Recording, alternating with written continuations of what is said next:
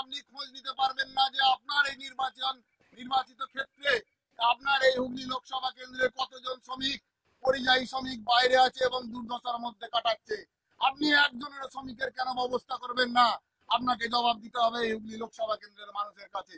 আপনাকে জবাব দিতে হবে এই এলাকায় যে মানুষগুলো রেশনের জন্য হন্য হয়ে ঘুরে বেড়াচ্ছিল, যাদের রেশন কার্ড ছিল না, তাদের কজনের রেশন কার্ডের সমস্যার সমাধান আপনি করেছেন?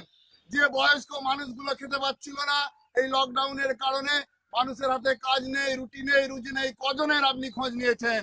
আপনি খোঁজ নেননি, কারণ তখন আপনার করোনা হয়ে যাবে, আপনার ভয় আছে। আপনারা সারা দেশের মানুষকে শিক্ষা দিচ্ছেন যে গোমূত্র খেলে নাকি করোনা হবে না। তো আপনি আসুন না, সকালে উঠে এক গ্লাস গোমূত্র পান করে বেরিয়ে পড়ুন, আপনার করোনা হবে না। জয় শ্রীরামের টিকা মাথায় নিয়ে আপনি বেরিয়ে পড়ুন, আপনার করোনা হবে না। আপনার সঙ্গে তো ভগবান আছে, অত ভয় কিসের? আপনি আসুন, মানুষগুলোর খোঁজ নিন। ভোটে জেতার সময় আপনি আদিবাসীদের হাত ধরে নাচতে পারেন, দলিত পাড়াতে গিয়ে নাটক করতে পারেন। আর আজকে মানুষ যখন না খেয়ে মরছে, মানুষের রেশন কার্ড নেই, কাজ নেই, একশো দিনের কাজ নেই, তখন কেন আপনার দেখা পাওয়া যায় না? আর গত পরশু দিন যখন সেখানে সাম্প্রদায়িক দাঙ্গার গন্ধ পেলেন, তখন আপনি সেখানে ছুটে গেলেন। মুসলমানদের দোষ দিতে হবে। আপনারা বলে বেড়াচ্ছেন, সারা দেশ জুড়ে নাকি মুসলমানরা করোনা ভাইরাস ছড়াচ্ছে। আপনাদের সরকারের ব্যর্থতা ঢাকার জন্য, আপনাদের অপদার্থতা ঢাকার জন্য আপনারা একজনকে দোষী বানাতে চাইছেন, মুসলমানরা নাকি করোনা ভাইরাস ছড়াচ্ছে।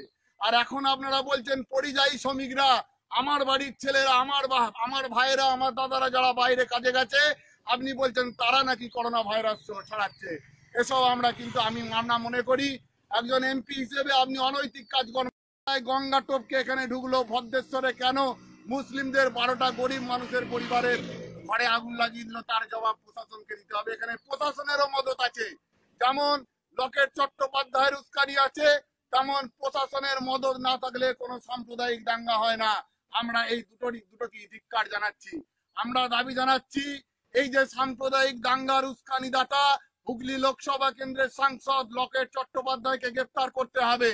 আমরা দাবি জানাচ্ছি, যারা ওই তেলেনি পাড়ায় এসে গন্ডামো করেছে, যারা ঘর বাড়ি জ্বালিয়ে দিয়েছে, গরিব মানুষের ঘর বাড়ি জ্বালিয়ে দিয়েছে, তাদের অবিলম্বে অ্যারেস্ট করতে হবে।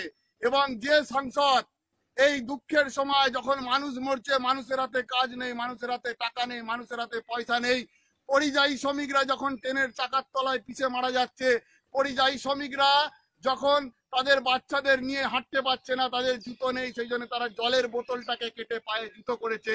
এরকম কষ্ট করে হাজার হাজার মাইল হেঁটে যাচ্ছে।